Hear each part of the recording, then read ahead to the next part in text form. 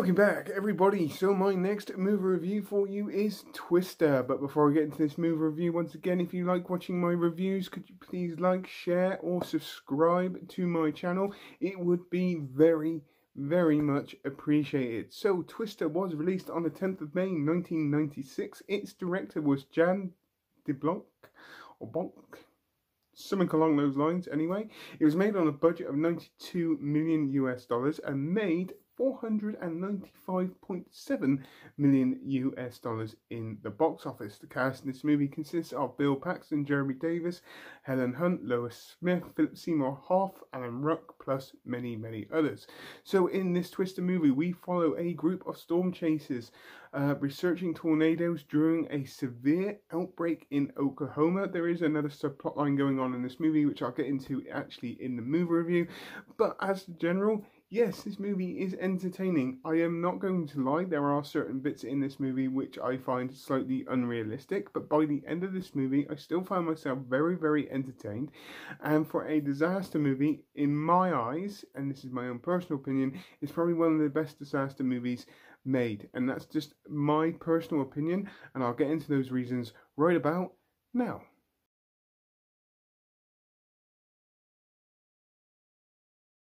So, like I said at the beginning of this video, this is probably my favourite disaster movie. Now, I generally like all disaster movies in their own right. I enjoy Deep Impact, uh, Armageddon, Day After Tomorrow.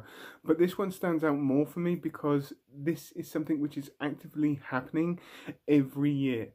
And there are teams of storm chasers out there trying to st uh, study and understand the paths of tornadoes, how they present themselves every year to try and give people that even earlier warning that one is heading their way so they can get to safety and they can just save lives. And this is the reason why I enjoy this movie is because they wouldn't go into this completely blind. They would have probably consulted researchers or actual storm chasers to try and get an idea of what they do. Um, I also get there is a Hollywood element into this movie as well, which come from slightly unrealistic parts of this movie, which I'll get into. But by the end of this movie, I still am very, very entertained. I watched this movie a few days ago, and basically I still get exactly the same enjoyment from it from the first time I watched it and I do believe I got this on VHS not long when it got released on VHS that is how keen I was to actually watch this movie I never actually went to the cinema but just the experience of watching it for the first time I still get exactly the same experience by the end of it.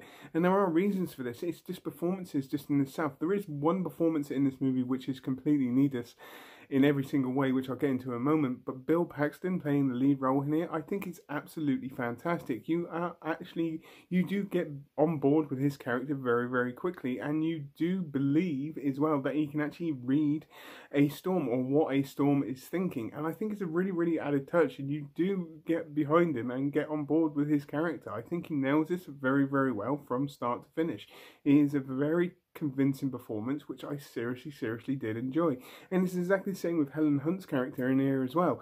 Okay, there is a subplot line going on between those two, as in there is an impending marriage divorce, which is the secondary subplot line in here, which is a driving force in here for the reason why these two are together at this very specific time, which I'm not saying is necessarily needed in this movie at all, but I get why the storyline is there because obviously they needed to get a certain certain character into a certain place at a certain time, which I think is a very very nice touch, and it adds in and it kind of blends in with the storyline.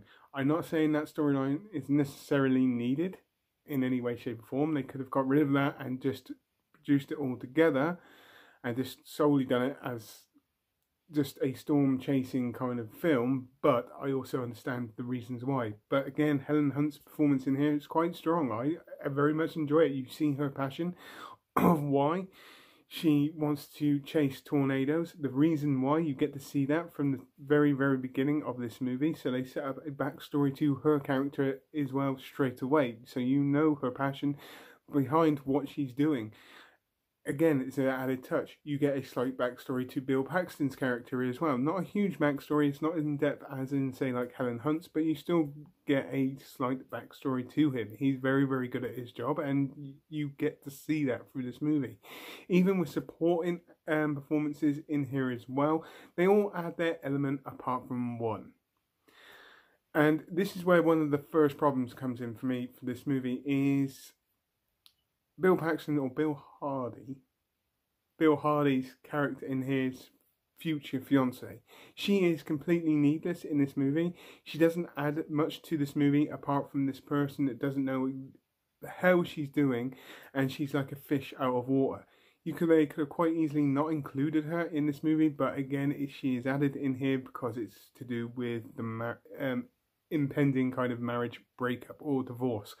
I get it, but she's not that good and she's completely useless. But the rest of the characters in here all add their element to this movie to make it just that little bit more Hollywood of a Hollywood movie or a blockbuster. None of the other performances in this movie actually bug me in any way, shape, or form. They, like I said, they all add their element.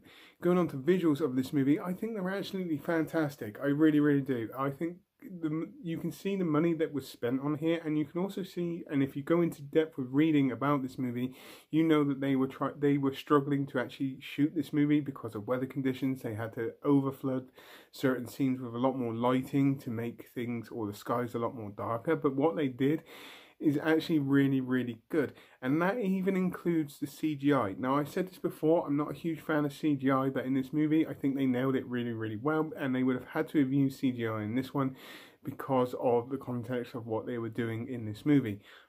It is convincing. I'm not saying it's 100% convincing, but I do actually generally feel that the tornadoes that are in this movie are actually believable.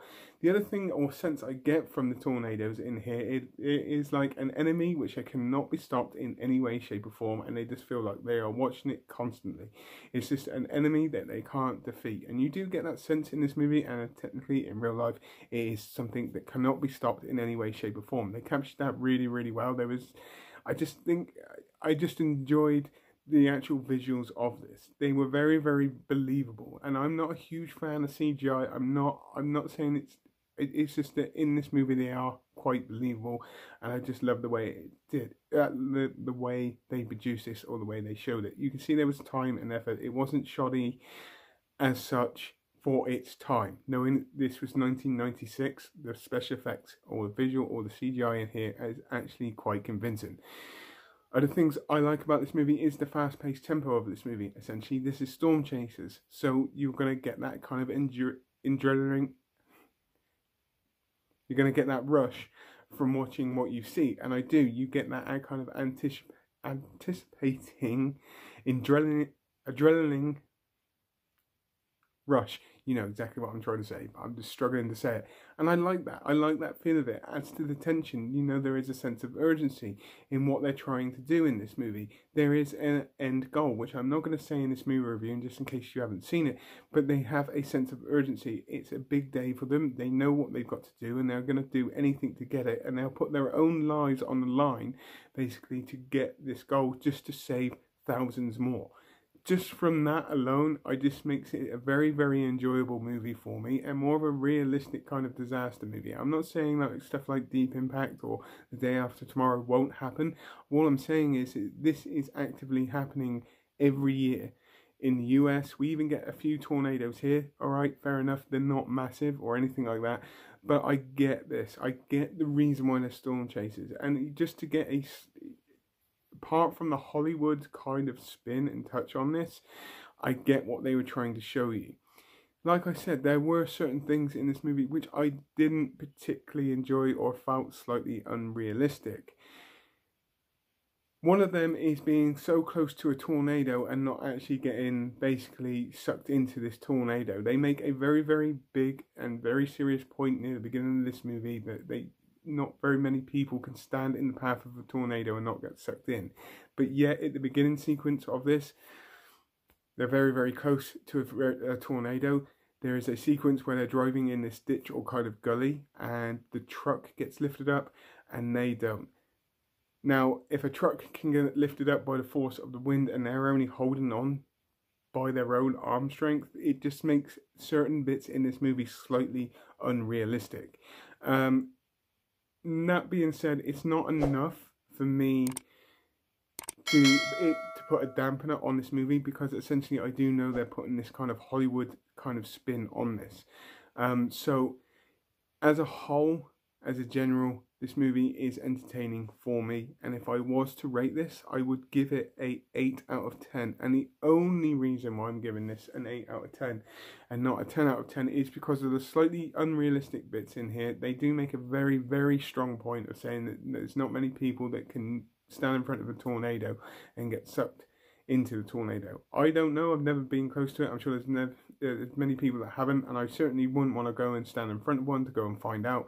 But there are just certain unrealistic kind of scenes in this movie that, with the supporting kind of um, acting or actress for Bill Harden's or Bill Paxton's character in here as being completely needless in every single way, um, is the reason why I will give this an 8 out of 10. So, on that note, please stay tuned for five bonus facts to do with Twister, which are coming up right about now.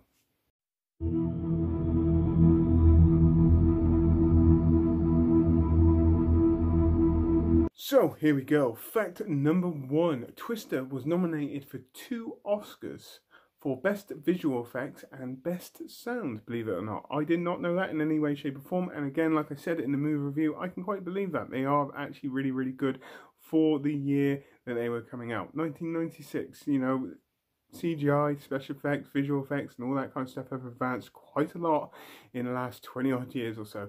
24, I believe it it might be a little bit longer. But, you know, you know what I'm saying. For its time, the visuals in there were absolutely fantastic, in my personal opinion. Fact number two Twister was the first mainstream Hollywood movie released on the then new home video medium of DVD. I did not know that either. And apparently, when I was doing some reading later on, it was the last DVD to be released as well. So it must have been like a special edition or something along those lines. That was what I was reading, not 100% sure on that, but you know, I did not know that in any way, shape, or form. I even thought DVDs come out in like 98, but obviously I was wrong. It was 96. Um, Fact number three a recording of a camel moan was slowed down and used for the sound of the tornadoes. Um, I would never have known that either. I just thought it was like proper wind noises they used. But there you go. It's an interesting fact for me.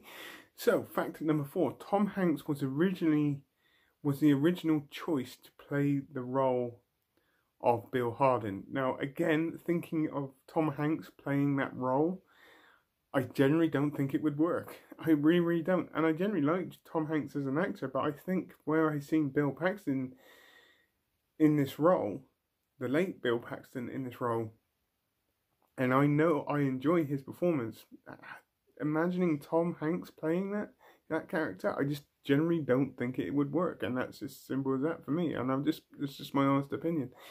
Fact number five: a jet engine from a Boeing 707 707 was used to generate wind in some scenes. And yes, you can see that there is um, obviously wind devices used in this movie. It'd have to be because essentially a tornado is a quite an aggressive wind surge which spirals and I don't understand the mechanics of a tornado in any way, shape or form. But I guess they would have to use something pretty hefty and extreme to basically show you or trying to produce the kind of wind speeds you probably get from a tornado to make it a little bit more realistic. So, and let me put it like this for you. When I was reading through facts of this, there is a lot. Probably more on this movie than some of the other movie reviews that I've done these bonus facts on. So, on that note, please tell me what you think. Put it in the comments down below as normal. Hope you all have a great rest of the day, whatever you're doing. Please take care and goodbye.